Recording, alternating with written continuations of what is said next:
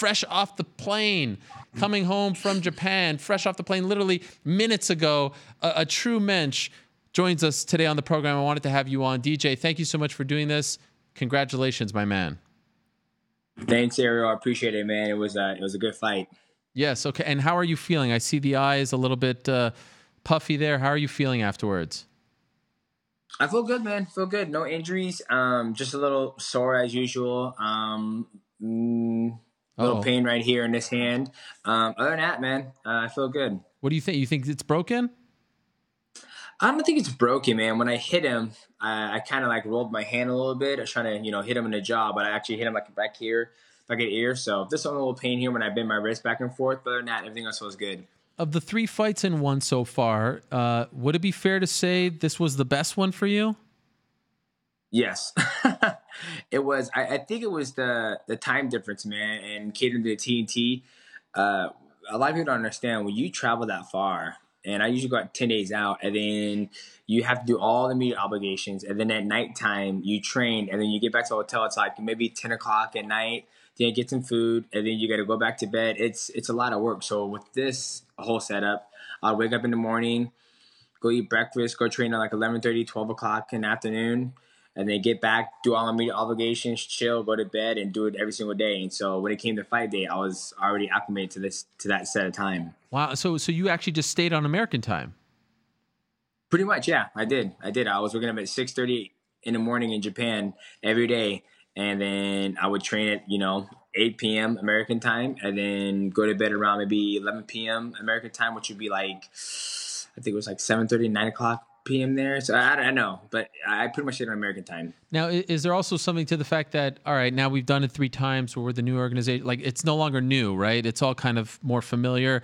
The nerves are gone. You don't have to prove yourself to anyone. You know all the people. You know everyone behind the scenes. Like you just feel a little more comfortable now after three fights.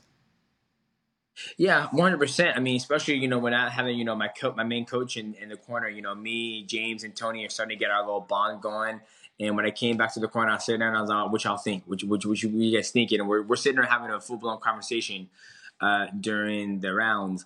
And I'm also getting adjusted to my diet. You know, I've been, uh, I've been on three rounds of antibiotics this training camp. And then the previous one, we had antibiotics on me as well. So I think I'm at the end of this, you know, whole SIBO battle. And then, then once I'm done with this, once I test for it again, I hope I get my weight back to where it should be, which is like you know, 140 instead of walking around like 136 pounds. Wait, what are you talking about with the antibiotics? I didn't know this. What, what were you dealing with? Um, I've been I got diagnosed with SIBO after my first fight against uh, Wakamatsu. It's basically small intestinal bacterial overgrowth. Basically, your small intestine gets uh, overgrowth in bacteria. So whatever you eat that's fermented uh, basically draws in water um, into your intestines, and it causes bloating, uh, pain, uh, gas, uh, another form of is acid reflux GERD. So I've been battling this for since March, and um, you guys jump on antibiotics to regulate the to kill the bad bacteria. So I've been on antibiotics for a long damn time. Damn. And then when I was in Japan, when I was in Japan, I finished this training camp. I was on uh, uh, Xifaxan, and then I did I did 20 days, 15 days of Xifaxan, then 10 days of Flagyl, and then I did 30 days of herbal antibiotics, and then um, three days before the fight, I cut out all that stuff, and then um, now I'm back home, so I gotta wait two weeks, and then I test again for SIBO, and then if, if it's still there, then I go back on antibiotics. So I'm hoping this time I'm done with SIBO, then I could start reintroducing things back into my diet and get my weight back to normal. Because uh, the day after the fight, I woke up weighing 134.2. So my body's, I'm just small right now, really, really small. How did you find out that you had this? Um, so after I got back home from Japan, uh, actually Thailand, um, I had like we ordered pizza because we're about to go to Florida, and I had like six slices of pizza. And next thing you know, my stomach was just jacked up, just jacked up. And I was like, huh, that's unusual. I eat whatever I want. Cinnamon Toast Crunch, whatever I want. And then went to Florida and I tried to clean up my diet and it just kept on being painful, painful, painful. I'll go out to eat, have a big meal, all healthy. And next you know, I'm just passing gas like that. Then just think, then just think, just passing gas. Mm. and next you know, I was like, something's wrong. I, I, I got to go to see a doctor. And saw a doctor, did you know the stool sample, blood sample, all that stuff, and he was like, "Your body's having a hard time digesting carbohydrates." And I was like, "Okay." And then I talked to another uh, doctor in the office, and they're like, "How did this happen?" I was like, "I don't know, it just showed up." And they're like, "You might have SIBO. Let's test for that." And then I tested, and they're like, "Yeah, yeah, SIBO." And they put me on uh, antibiotics. Then I trained for Wakamatsu and then fought in Manila. Then after that, came home, had some rib injuries, did the SIBO test again. They're like, oh, it's still there. And I'm like, what the? F-? Okay, well, what else you want to do? And they're like, let's just hit you with every um, antibiotics we got. And I'm like, all right, let's do it. And then now we're at the end of that, and hopefully, when I test on the 22nd, I believe, um, we're clear, man. And how do you contract or develop something like this? So typically, um, it's it's almost in a form of IBS, which is irritable bowel syndrome, which I do not have. Okay. Uh, it's just sometimes your body just gets a, a gut all that's uh, unbalanced. It can be caused by stress. It can be caused by a lot of things, you know. Um, and yeah, I, I just don't know. Oh man! And do you feel like it affected your performances? Like, did you feel weaker out there? I mean, I don't feel weaker, but I mean, there's things where I mean, I'm used to going five rounds, just five rounds, five rounds. So usually, typically, you know, the first two fights, it's a hard to get adjustment. This is the best I've ever felt because you know I, I'm getting used to being small in general. You know, I'm used to walking around like 142 pounds. Now I'm walking around like you know 136. Um, and you know, I'm I'm still getting. I feel like the last fight I got used to it, but I just like being bigger. It's just nice to have a little more weight on because even after I was doing a knee battle with Danny against the cage, like my ribs are bruised. I would have knee battles in the past and I wouldn't be bruised at all. I mean, even when uh, Wada got behind me and put me in a body triangle and I was twisting to get to him, like I tore all the cartilage in my left uh, rib. So it, it's just, I just feel better when I'm, I'm heavier. Wow. Um, by the way, has anyone ever told you that you have incredibly white teeth? I mean, this is something Thanks, else. man. I appreciate it. Do you use like strips or like what are those things called? You know, like the the white strip. Do you use anything? I mean, it's just unbelievable. Those are true pearly whites right there. Nah, man, I got Invisalign and I brush my teeth twice a day, uh, floss, and uh, I wear my retainers all the time. So uh, I appreciate that. I think uh, teeth are a very important thing in life, and uh, I try to take care of mine. Yeah, I mean, I'm blinded by them to be honest. I mean, they're right there, like I'm staring right at them. It's unbelievable. Um, you should be Thanks, very man. proud of those. Uh, what was what was the the scene like for those two events? It looked like a big deal. What was it like? Dude, it was sick. I mean, the whole the whole week itself. I mean, we started off with uh, the Fan Fest, which was October fifth and sixth. We had uh, Tekken, um, esports the first day. Then the second day we had uh, Street Fighter Five. That was fantastic. And then we had my my event part one, which took place in uh, on TNT. Uh, Angela Lee and Xiong the Pandas fight was sick. Christian Lee taking on Doggy. That was an amazing fight. Christian Lee took that fight on two weeks' notice. Yeah. Man puked his brains out. um, and then going back that same night to watch kickboxing, Giorgio Petrosyan, Rod Tang, uh, Walter Goncalves, Brandon Vera taking on Aung La N Sang. I mean, I'm a huge fan. Like, I love kickboxing way more than mixed martial arts. Like, Really? if I had an event to go, oh my god, it's, kickboxing is so much better because the striking is so much cleaner. Like, it's just clean striking. Um, if I had the opportunity to go to a kickboxing, a K1 event over a mixed martial arts event, I would take the the K1 event Really? over the mixed martial arts. So why Oh don't you do it? One hundred percent. Oh fuck no, man! Those guys take so much damage. Absolutely not. No, no, no, no, no, no, no. Once, I like watching. once before it's all said and done. I mean, I've done a kickboxing fight before, but I've never done a, a professional one. I respect what they do, man, and they go through a lot, a lot of damage, brain trauma, and I like not getting. I like you know moving, wrestling, and avoid getting hit. You know, with the wrestling and clinching. So maybe one day, but nah, man, they take too much beating. Who's your favorite kickboxer of all time?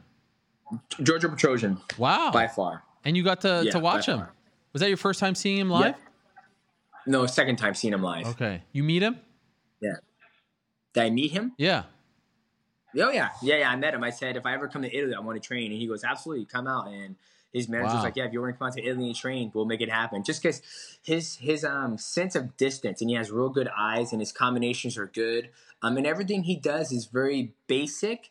Um, it's nothing too flashy, but it's a high level of understanding distance and control and never overextending. And he he's just legit. Like when I watch him, I'm just like, dude, he's just I can sense I can sense that he has an understanding of distance. Now, what about this belt that they gave you? How much does it really weigh? It's gigantic. Do you have it? it it's, it's it's right Oh here. gosh. It is. It sounds It, heavy. it's heavy, dude. I, I mean, I'm not, I'm not gonna lie. It's oh my gosh! it's it's it's my favorite one. I mean, look at that bad boy. It's wow. Uh, uh, weight wise, nice, do you know how much it weighs? tw- 22 pounds. I was What? told 22 pounds. How much is the UFC one in comparison to the old one that you had? Uh, I think the old one was 12 pounds. Oh my 12 gosh, pounds, 12, 12.5. Yeah. So this is uh this is way heavier. it's beautiful. Now, can you wear it around your waist? I haven't even tried, man. I don't. I mean, I don't think I can. I was I, when I was walking in the back of the arena with it on my shoulders. I was like, all right, someone's got to take this. This this thing's too heavy. And they're like, no, we want you to carry it so we get you in the shot. And I'm like, y'all have no idea how damn heavy this belt is. then my buddy wore it, and he goes, damn, this this is heavy. I was like, careful, you're gonna tear your labrum.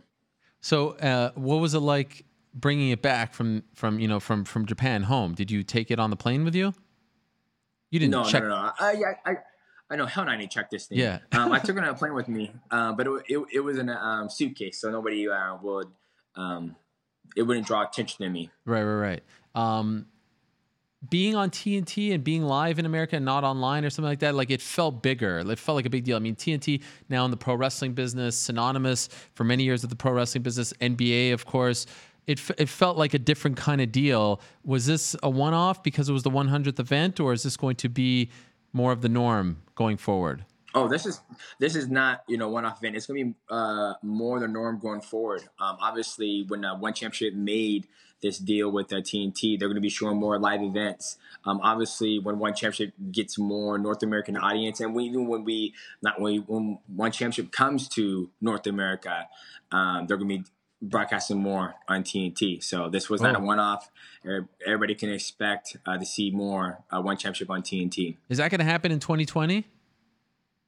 Um, that's that's the talks, man. That's a talks. I think I think if we go to Madison Square Garden, I think they can sell the place out. I mean, if you bring some high level, uh, just martial artists over there, you bring you you bring over Rodtang, you bring over Giorgio Petrosyan, you bring over you know Christian Lee. I mean, there, there's so many champions. There's so many great athletes in one championship. You bring that over, put some kickboxing, some Muay Thai, Muay Thai fights in four ounce gloves. I mean, if you're true martial arts fans and you want to see like, like some high level striking, high level mixed martial arts, I think y- you would not be disappointed. Are they talking about MSG for the debut?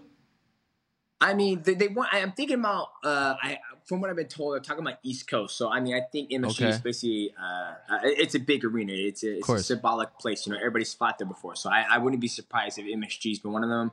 Um, but I remember they said somewhere along the East Coast area. And would you, obviously you'd like to be on that card, right? Or are you enjoying fighting in Asia and don't want to ever fight here in America? Dude, I, I'm not gonna lie. I'm actually enjoy fighting in Asia. Like the whole trip, the, the, the Japanese fans are amazing, just the culture itself. But if I have the opportunity to fight it, you know, uh, in North America again, I, I wouldn't pass up the opportunity. But um, I'm enjoying uh, the trips over to Japan and Singapore and Manila. They're beautiful. They're beautiful places, and there's nothing like experience a different culture. Like one of the things when I was sitting at the event this weekend is literally sitting back and, and seeing how diverse so many cultures are here. I mean, we had, you know, a, a- gentleman from Russia, we had a gentleman from Brazil, Italy, uh, just all over the place in different dialects and different interpreters going on and during a rules meeting, and just it's literally like we're fighting a, a you know with all the best in the world to where I thought when I was in North America, you, you would have more Americans than actual um, other people like Japanese, Chinese, Korean. I mean, I think we had Chinese, Korean, uh, Japanese, uh, Italy, Brazil, Filipinos. I mean, we I think we had a whole stew uh, of cultures in this event. Is it fair to say that one championship kind of saved your love for MMA? Uh, I, I always love mixed martial arts, no matter where where I'm competing. But I think it, it's giving me a new uh, pep in my step. Yeah. Um, to to fight more. I mean, a company that's trying to jump into esports, like literally, I'm I'm in Japan playing the world champion of Evo 2019, Bonchan, and Street Fighter Five. and then the next, you know, four days later, I'm about to compete for a World Grand Prix. Hell yeah, I'm, uh, I'm, you know, I, I'm, I'm, You're happy. I'm in love with. I, I'm happy. I'm happy. I'm never gonna not fall in love. When I'm 85 years old, if I make it that that far, I'm always gonna love mixed martial arts because I'm a martial artist. So the next, so you're just to be clear for the fans at home, you're not the flyweight champion. You're the Grand Prix champion, correct? That is correct. I'm the uh, flyweight world Grand Prix champion, not not the flyweight champion. That that's Adriano Moraes. And when is that? I mean, that's the obvious next fight, right? Yeah, that's the next fight. Um, that's that's how it was back in the day. You know, everybody now, now everybody's been kind of you know thrown off the you know the the mix. From my understanding, when I was growing up watching you know Pride and stuff, you have you know a Grand Prix um, in a certain weight class, and then the person who won the Grand Prix will get a chance to fight for the world title. Um, it's basically how you solidify the number one contender. No, you know, popularity contest. You take the best. You know, eight, seven, seven guys in the division. You do a Grand Prix uh, format. The winner gets to fight for the belt, and then if the promotion wants to do another Grand Prix to find a number one contender, that's what they do. And so with this, yes, it gives me the ticket to fight uh, Adrian Moraes, um, and that'll probably be 2020. Right now, I, I just got done fighting three times in a year. I'm gonna let my body heal, um, get my health where it needs to be, and then we'll start training and get ready for that. Now it's all well and good. It's great. You got the belt. You're three and zero. What a great year it's been for you. What a bounce back year. But what happened to the beard? What Let me happened? tell you, man. When, when you're a married man, Yes. you got three children. and you come home from training camp, and nobody's home. You got you got an hour and a half to yourself. Yes. You, you just get bored, and you just like you know I, I think I'm gonna give myself a fade, and I, I I messed up, and so now this is what I got. Oh, so you actually tried to style it. You didn't mean to do this. Yeah, I tried to style it. I, I was going, you know, here. I started up here with the fade. No, you want to start down here. No, yeah. See how? it- uh, See, yeah. I think you want to start up here. Go light here, and then start going darker, darker, darker, and have it thicker. But I messed up, and I don't like like the way it looked, and I was like, oh man. And then the thing is, is like when my hair starts to get longer, it gets curly, so it looks like pubic hair on my face. Okay. And so what I wanted to do is just make it be straight, like a like a yeah, a straight dude, but it gets curly. So And why don't you go to a back out. professional to do this? Why would you do this on your own? Because I'm lazy and, Okay. I, and I like to I like to learn because if I had to go to professional to get it done every single time, it's like it for me. It's like if I pay for a dietitian, right?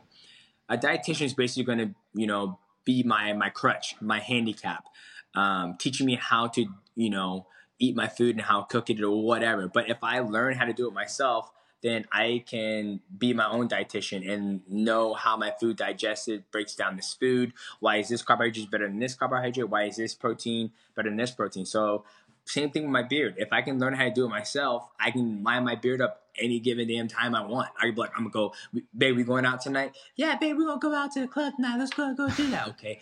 Just line this up real quick, get myself a quick fade. And so that's why I keep on practice. Practice makes perfect. All right. So so you're human after all. You're not, you know, superhuman. You mess up your beard as well. But by the way, it, you look like young DJ here. Like not like super young WEC DJ, like early UFC. So I don't mind it. It felt a little like a throwback, if you will. But refresh. Everybody says, "Damn, dude, you look like back at working at Red Lobster." I'm like, "Hey, hey, hey." The good old You know, days. I mean, I, the good old days. Hey, I'm glad I'm able to, you know, shave, take 20 years off my life, and still look good. Yes. And by the way, you're an AEW fan, I hear, based on your social media. Yes. Yeah, I, I am. So it's funny. I'm, I'm kind of like a closet uh, wrestling wrestling fan.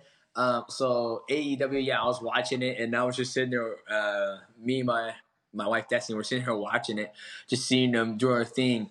And Kenny Omega, it's always funny. Each time I hear his name, I always think of uh, Omega Red from uh, the X Men. So yeah, I'm a fan. That's your guy. All right. Well, uh, big things happening over there. Congratulations. Great event. I saw the the Aung La N Sang um, victory over Brandon Vera and Angela Lee, of course, and Christian Lee, the brothers. Unfortunately, Eddie Alvarez couldn't compete on the card, um, but I, I talked to him recently. It sounds like he's getting better. So, uh, congrats on everything, my man. Great year for you, and I really appreciate you doing this after flying home from Japan. You're always a you're always a true mensch, DJ, and we appreciate it on this side of the table. Thanks, man. Arrow, we got to get you out to uh, one of the events at One Championship. Get you covering, man. I think you'll have a good time. MSG, I'm there. Can you come to MSG so I can come to the event? Well, it's like you got to get the whole feeling, the culture. Go out there to Japan and All right. be able to see some high level kickboxing, some Muay Thai. We'll get you out there. Don't worry, we'll get you out there. All right, fair enough. For now, thank you. We appreciate it. Enjoy the victory and feel better. Thanks, Aaron. Thanks, Aaron. Appreciate it, man. Hello, everyone. It's Ariel Helwani. I just came here to thank you for watching our ESPN YouTube channel. It's the best. You know what else is the best? The ESPN app. You can get highlights, analysis, all that stuff, and more. And if you want premium content and live streaming sports, there's only one place for all of that. It's ESPN Plus.